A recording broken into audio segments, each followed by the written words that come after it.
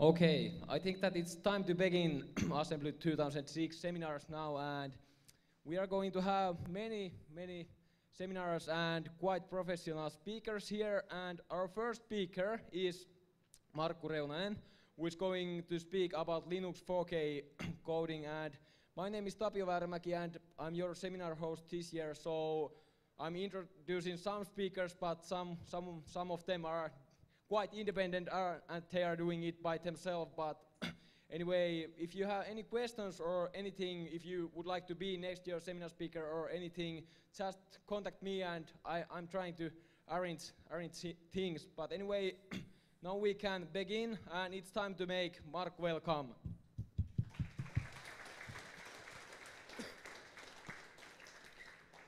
Okay, this looks pretty much like a Finnish church. Nobody sits in the front rows, but uh, we'll manage. Okay, let's start off with a little piece of uh, 4K. Um, better start with the better ones. Okay, this is kind of the thing that started it all. My first 4K with uh, Antti Silvast, the neck, neck freak of bandwagon.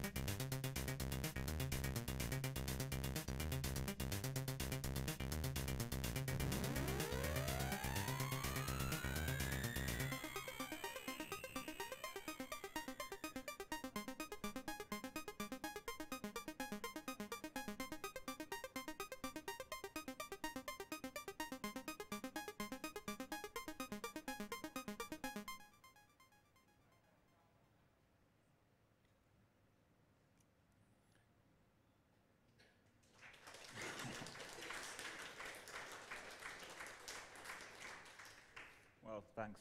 Um, now that um, I think we have some time, so I'll show another, and then we'll go to the actual presentation. This is from last year, again by me and Neckfreak.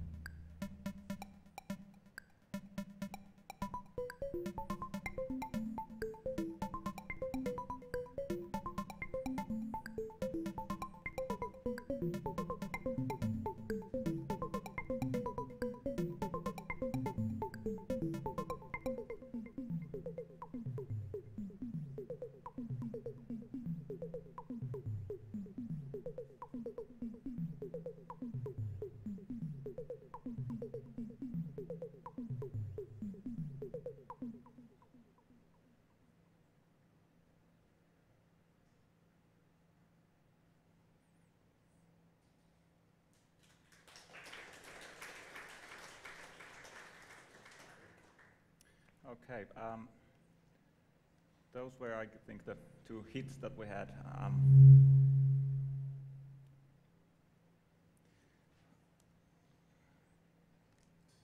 so the topic obviously is Linux 4K intro coding.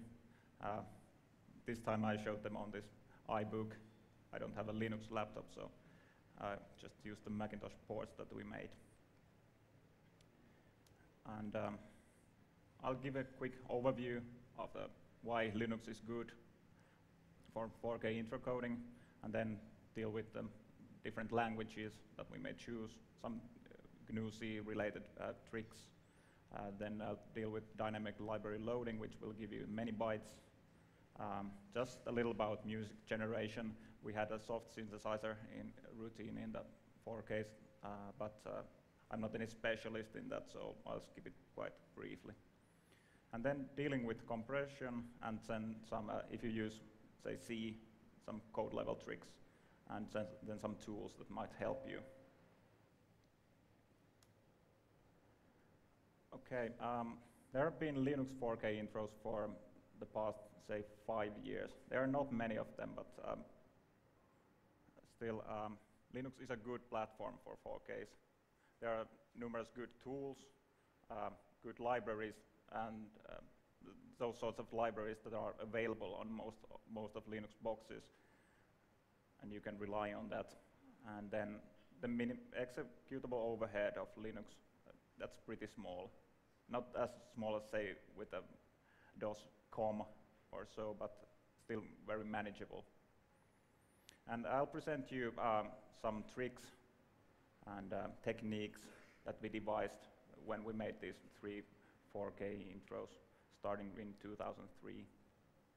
And uh, if you are upstart in 4K coding, you better listen carefully because uh, with these tricks, it's, uh, these are kind of free, free bytes to you. You don't need to uh, put a lot of effort to your coding. The, for example, those tools, they will give you, uh, I would say, at least 300, 400 uh, bytes easily. So um, I'll tell you everything I know. And if you have something to add or ask, then we have time for that at the end. Okay, um, many people would start coding right away with assembly, but um, you know the pros and cons of assembly. It's a, a lot of work. Obviously, you get the smallest possible executable with assembly, but uh, say, trying different values, parameters and such, that's not so easy to do with assembly. But uh, if you know what you're doing, stick with assembly and uh, you will get the smallest binary possible. Then the C, um, which uh, today is pretty good choice. I, we have used the GNU, GNU C compiler GCC, and um, we found it pretty suitable. Well, all of these uh, three intros, they have been mainly done with C. All the effect code is in C. Then the soft synth and then, then some system level code is in assembly, but um, C is, is our language of choice. Unfortunately, you can't use C++, at least that's my experience. Uh, there's all sorts of overheads, startup code and uh, name mangling. It makes it difficult to interface with assembly language but probably for a uh, 4K intro, you wouldn't want to have any uh, big uh, object database anyway. So I think C is pretty, pretty okay. And with Linux, um, I haven't seen anybody done, do this, uh, but for example, Perl is uh, pretty much available everywhere. like a working Linux setup must include Perl. So you might consider this. It, you could for example, make the engine in, in C and then kind of script it with Perl. Because it's obviously very effective. Uh, you get very, uh, very dense code with Perl. I haven't done this, but this is just some food for thought. You might want to try this some, somewhere. But obviously Perl alone is not enough. You can't interface to the graphics library and sound with pure Perl. And then um, this is again something I haven't tried, but uh, at least in some Windows 4Ks they have they use shader, shader code. Under Linux, it, it would definitely be GLSL, but uh, I'm not any big fan of shaders, so I won't go into this. And besides, I don't know that much about it anyway, so better keep my mouth shut about it. Okay, this is our approach. Um, system level code, soft synthesizer, and then um, startup and such things you need to write only once. Those are made in assembly, and then the rest is C. All the effects um, and whatever, whatever there is. And this has proven to be quite a good approach. We now we have the kind of the framework written in assembly. We have the startup and soft synth and such, and then we, uh, we only actually we have only one C file that we edit each year and then just recompile. It's, uh, there's not, not a lot of rewriting involved. Actually, we just uh, change the contents of the functions pretty much. Now, probably this doesn't sound too romantic. Um, anyway, you save some effort there. And um, we've been able to release this, all of these um, under Linux, Windows, OS 10, and SGI uh, because, uh, well, C is portable, and we have just then changed the framework and just we just took the effect code and compiled it in, on another platform, and that's it.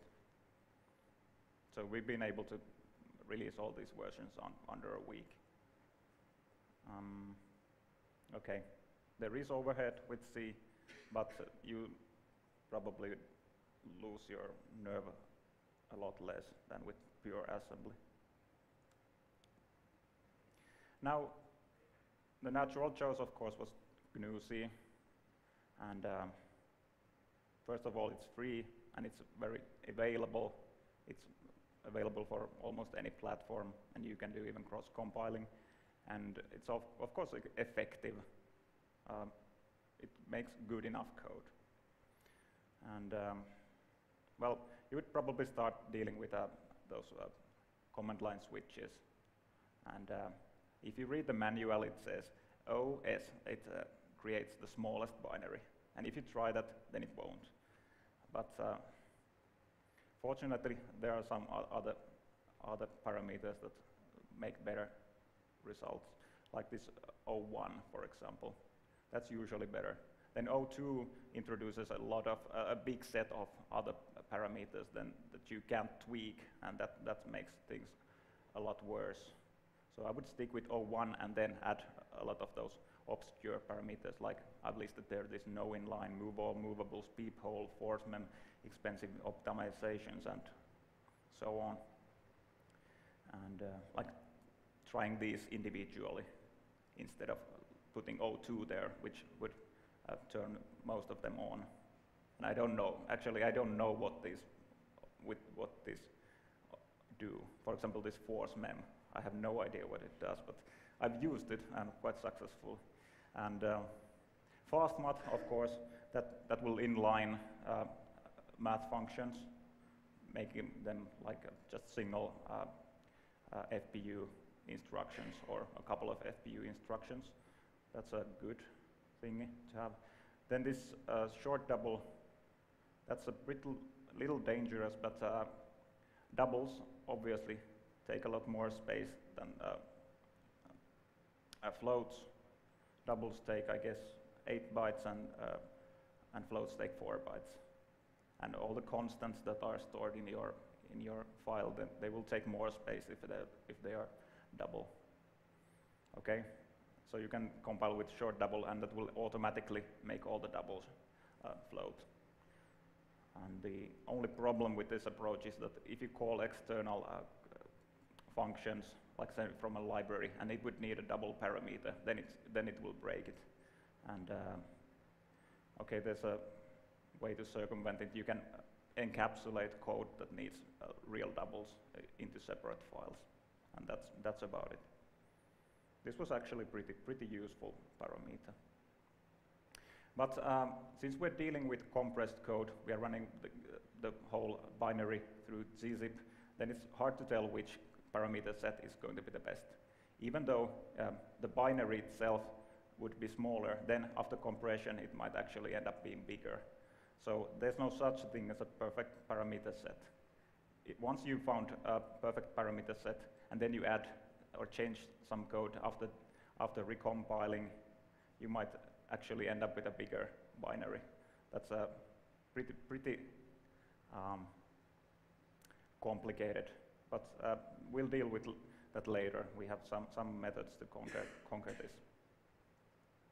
And uh, this was a big surprise to me. Um, I would expect that uh, GCC 3.3, which was new in 2003, um, I would expect it would create better binaries, like smaller binaries and so on.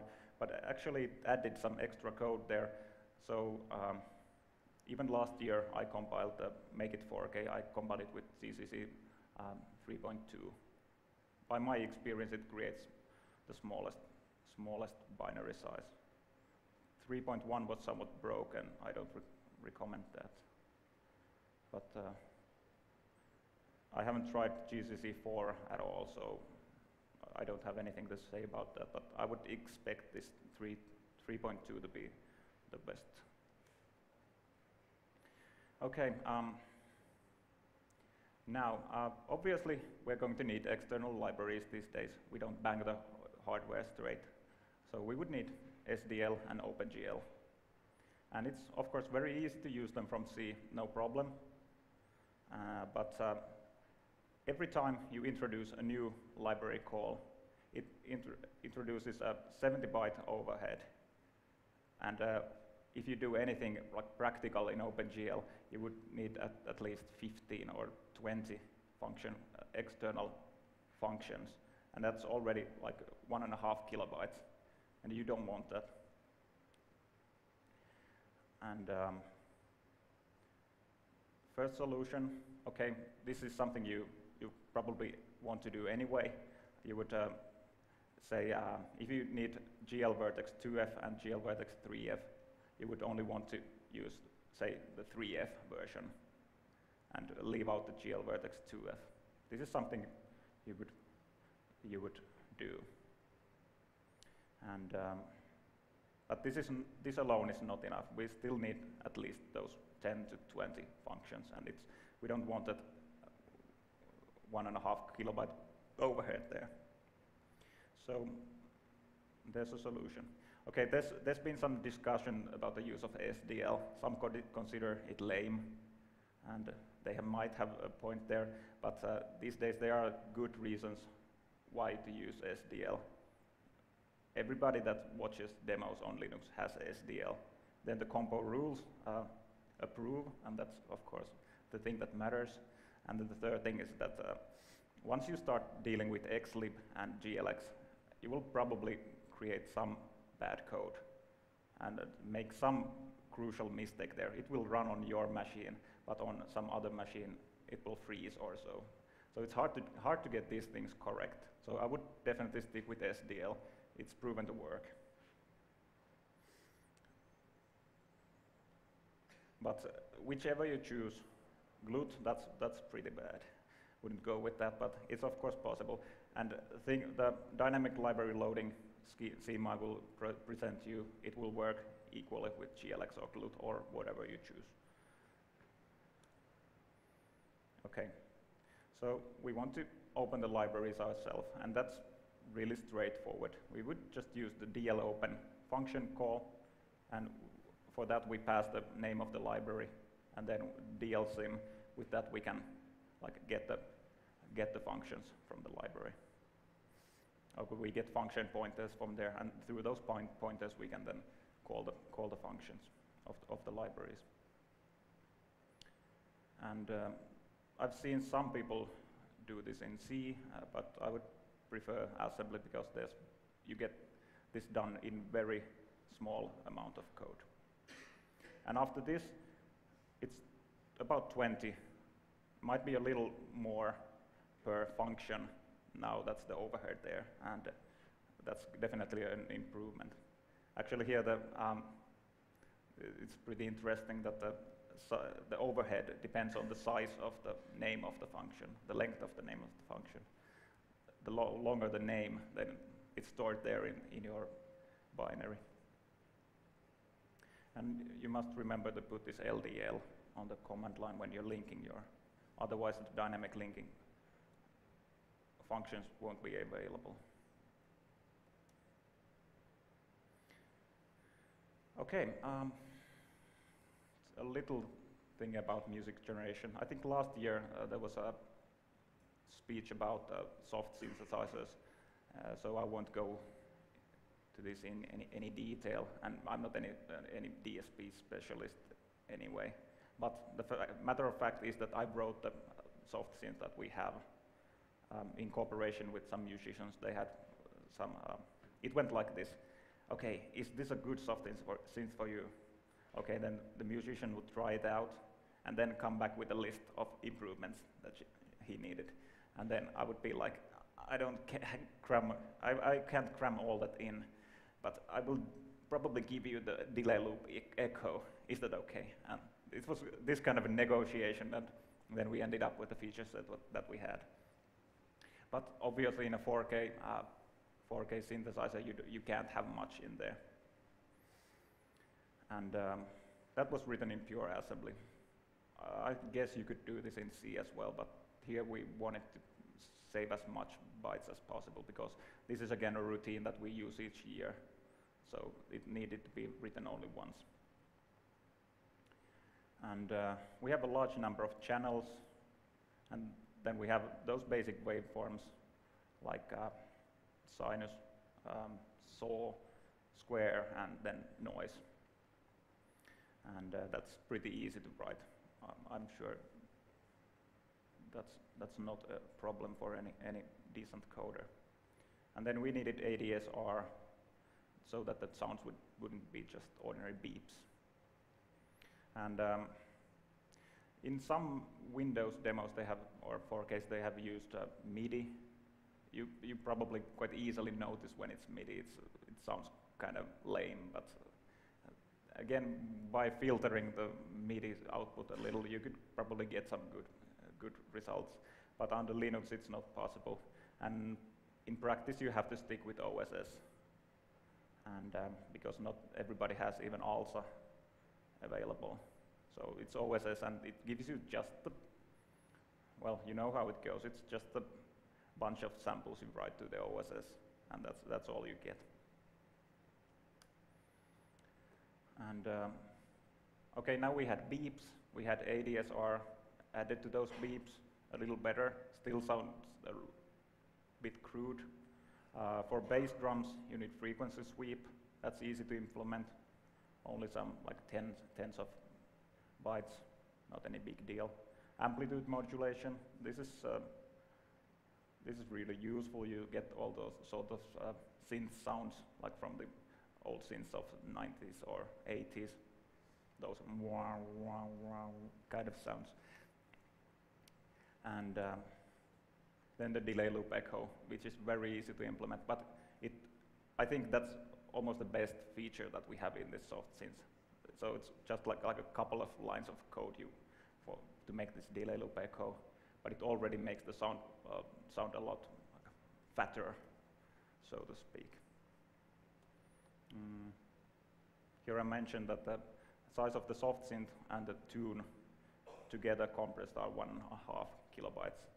So that's already pretty much. We only have two and a half kilobytes for the actual, actual code and graphics.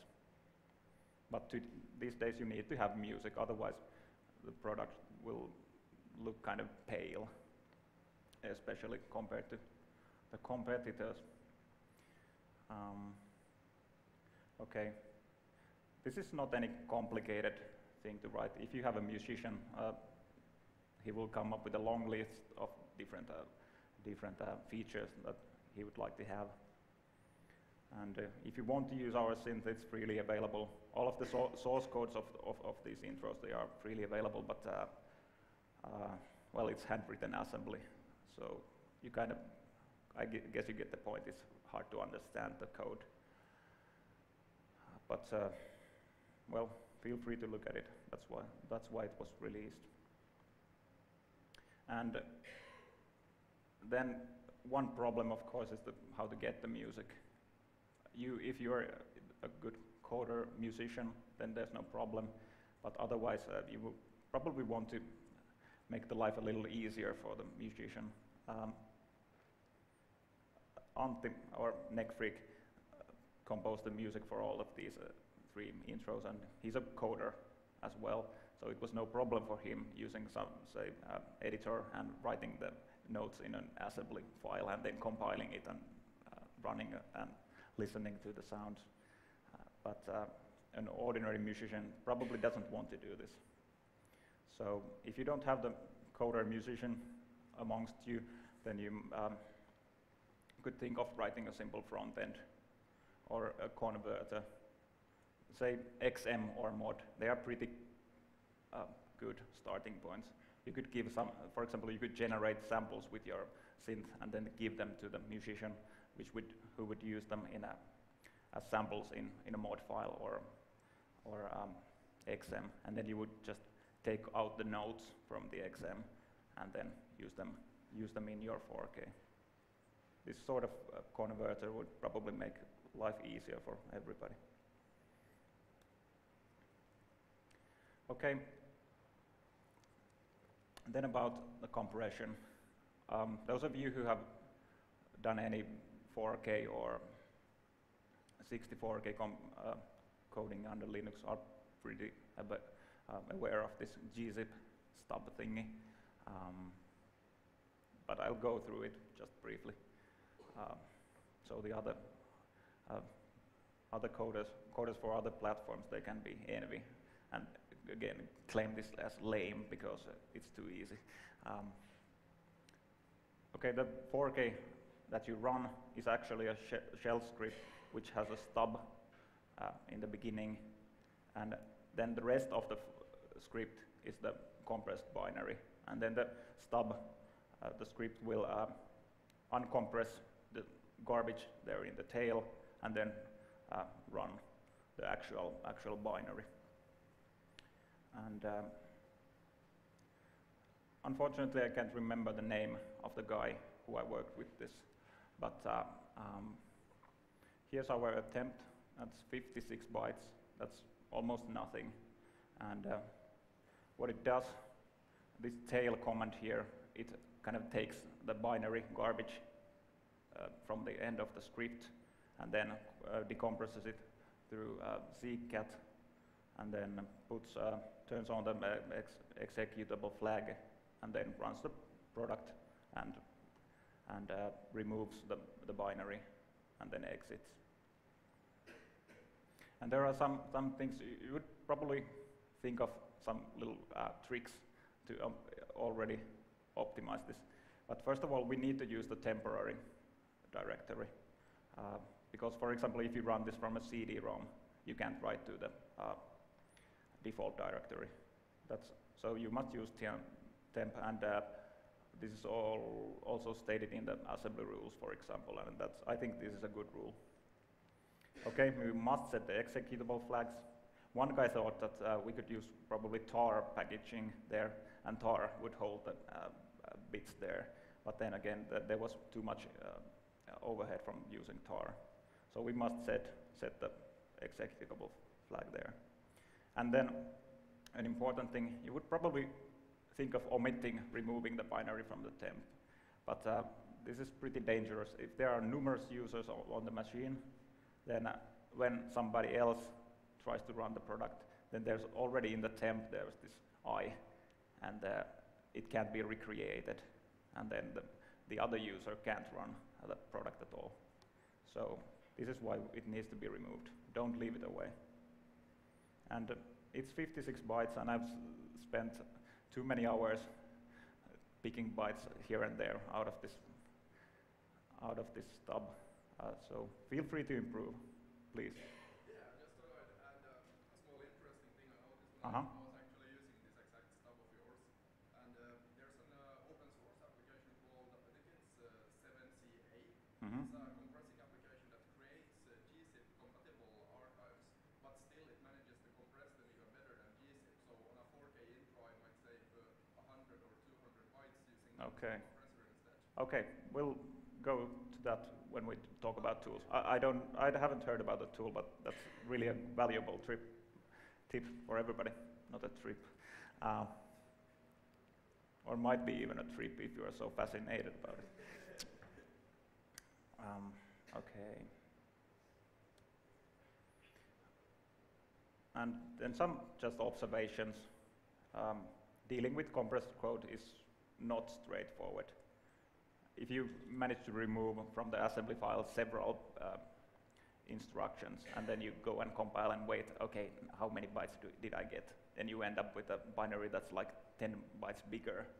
That's, that's a, thing that usually happens. So it's very unpredictable. And uh, so you need to take out large amounts of code to get any, any improvements. And um, the same is true for compiler flags. After, after compression, you can't really tell how many bytes you're gonna, you're gonna gain by trying out those compiler flags. But we have a tool for that. Then, okay, we have plenty of time. Um, then some code level tricks. Pretty straightforward, pretty simple, but might be of use for you. Just some observations that I've made during these three years. Um, this is not any good coding practice. Probably your teacher would spank you for doing this, but you should remove subroutines. There's always uh, overhead introduced when you have subroutines. Okay, you can't do this endlessly, uh, or you can, but then, then your code will actually be, be messy. And uh, at some point this might um, be a bad, bad advice, but uh, if you have small subroutines that are called, for example, once, then you, you should just inline them by hand, and that's, that's about it. And we already went through this floats instead of doubles. There's nothing new there. Okay, then there's something I noticed. Uh, if you have local arrays in a function, uh, if you declare them as static, it removes the init code from the uh, subroutine, and you get some bytes. Then, it, then the, the arrays are placed in the global data segment, and uh, they don't need to be initialized every time you call the subroutine. So you gain some bytes by doing this. Mm, and then there's this little pseudo-random generator that I wrote. This is from some old MikroBitti magazine, magazine originally, and then I just converted it to uh, Intel assembly. And uh, you, you, every now and then, you would probably need random, uh, uh, random numbers, and using the external rand of, of, of C library would create some overhead. So you might want to try this. This is just some uh, about a little more than 10 bytes probably compressed. And this, I've, I've tried this and it, this, this works well enough. Probably it's not uh, good enough for cryptography, but you will probably use it for that anyway. Okay, um, finally we go to the tools. Um, I've used NASM, the NetWide Assembler. This is a matter of a taste ag again. Some of you might want to use the ATT syntax, but I'm kind of grown with Turbo Assembler, and so I want to use the ordinary Intel syntax. And you get fancy things like IncBin to include your binary data there without any, any extra hassle. And you get macros and free, and that's just one wonderful piece of software. And then this ELF Kickers package, that was really a big help. I actually didn't know about this sstrip uh, tool before uh, Yellow Rose of Texas, and I played with the usual, usual strip that comes with the system. And I stripped all, out all sorts of segments there, and I already gained some bytes here and there, but with this S strip I gained something like 100 bytes. So you should probably look at the ELF Kickers package. You get it, uh, it's packaged in Debian, for example. and you will find the strip command there, and that's, that's really, I don't know what it does to the ELF header. It's probably something really dirty, but uh, anyway, the, the binaries still work, and I'm happy with that. So it's very, very effective. And then there's this little tool I wrote, um, this GC masher, and um, we've already talked about the command line parameters and how many of them there are. So um, this is a very crude ap application. It just takes a set of parameters and then compiles an over and over and uh, the application over and over again with the parameters and then it tells you which parameter set was the best. And it takes some time. Um, on my old Celeron it took something like uh, an hour to test the parameter set. But after all, I, I got, um, for example, from Je regrette, I got 74 bytes, and these are free bytes. And you, of course, you shouldn't uh, do this constantly after each change, because there won't be that much change uh, in the binary side. But before you submit the entry, or if you need, a, say, a couple of bytes, just a couple of bytes more, then you might want to run this, and then um, you would probably get some extra. Yep, this is very crude tool. Feel free to improve it. It's open source again. You can find it at least in Pouet.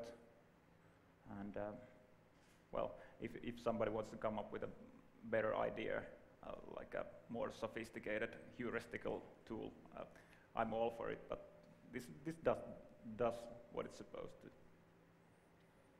And I was pretty sad kind of to find that I would have gotten 74 bytes for Je regrette and how much of rich content I would have put in the 74 bytes. Well, probably not. Um, if you are into serious hacking, there's this whirlwind tutorial on creating really teensy ELF executables for Linux by Brian Raiter. And uh, in this, they create the minimal ELF header they really, they really tweak it very far. Like they put code in, inside, uh, like, like in place of numbers that are supposed to be there, and all sorts of dirty tricks. I haven't done this, and I probably don't want to do it anyway, because the, after this you can't really be sure if it works on every, everybody's setup, or in the future when the kernel changes. But there are some, some, some really neat tricks they have there anyway. And then Timo Wigren has written a how-to about 4K intros in GNU Linux. Some basic tricks presented there. Pretty much, I've pretty much covered everything that's there. Uh, but if you want to have some, some sort of reference, you, you might want to check that web page. And uh, finally, if you want to see how we have done those things, then full source, or both C versions, like the multi-platform versions, and then the assembly and C versions, like the originals, they are all, all available on our web page. Feel free to check them out. I don't give a shit if you use the code or and don't even credit us. I've, I've written the code, code once, and that, that was the most important and fun part for me. I don't really care if eh, anybody uses this for their own profit. Uh, but I would recommend taking uh, the source of Make It 4K because that was the last and uh, includes most of the tricks that I've mentioned. But even then I didn't have this GC, GC masher, so it's, it's not there, but you will find it in Pouet. Okay, that's about the presentation. Thanks you, thank you, you have been a great audience, and uh, I think new, now we have time for some questions and comments. You already mentioned the gzip uh, compressor, which I will definitely check out and, and, and recommend to everybody. Other comments, questions?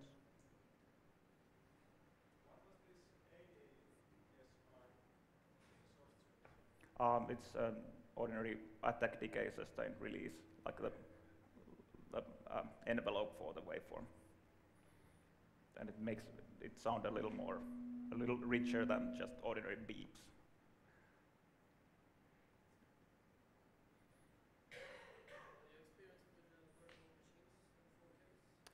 Um, I've heard of those, but I haven't tried it myself. But probably they could be useful. Uh, a little related to Perl here again. But uh, okay, I've, I've heard of people thinking about that, but I haven't haven't seen anybody do that in Linux. Might be might be that I'm just not aware of such a thing. But I agree there's potential there because you can create very dense code in pseudocode instead of instead of machine language.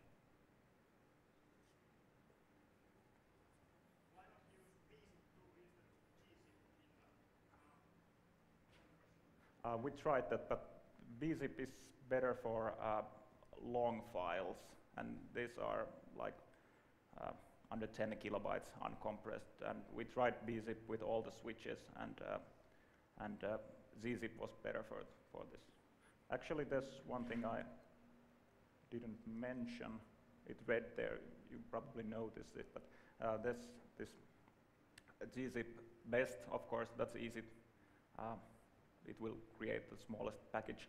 But then there's this minus n, because gzip um, places the name of the archive in, in, the file unless you give it the minus n. And after that you get some something like 5 bytes probably, but anyway, we want to squeeze it to minimum.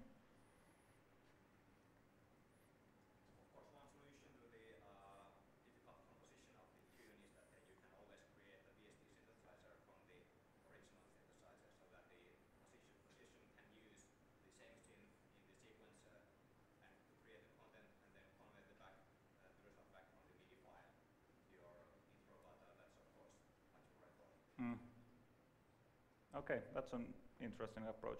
Really didn't think of that. There are all sorts of things I haven't uh, tried, but uh, fortunately we had the coder musician who was uh, willing to write assembly language as, as the music.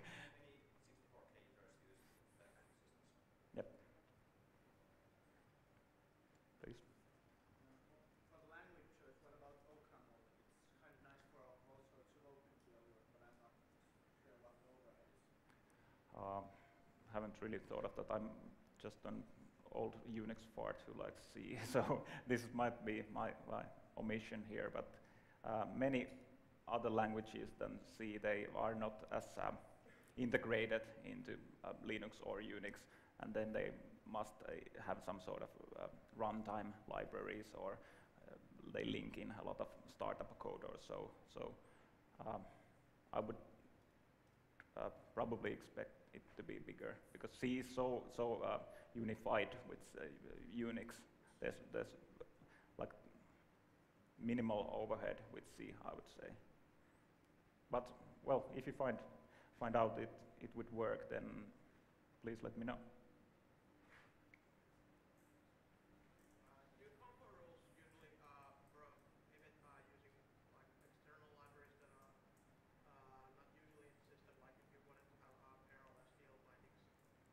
Um, could you rephrase that? I can hear it uh, quite. So, uh, let's say I wanted to make a Perl ah. uh, so it would probably possible to, for me to use uh, Perl bindings to for SDL.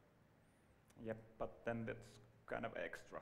You yeah. would need to have that installed, and uh, I don't think many people have that. That's that, that's the problem, obviously. Okay, I think we have time for at least one question.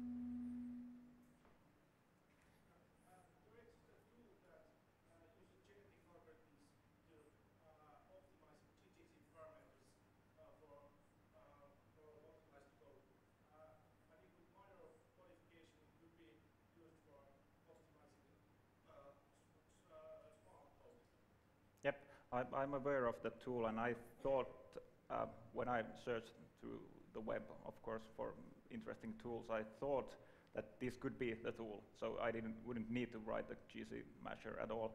But um, the problem, I think, it's it's of course way more advanced than this brute force crap that I made. But uh, I think uh, the problem there is that uh, um, the compression there makes things very unpredictable. Uh, running speed is, I think it's more, it's easier to uh, improve on, like with, with sophisticated algorithms, but you really can't tell how, how the gzip will end up com compressing a binary.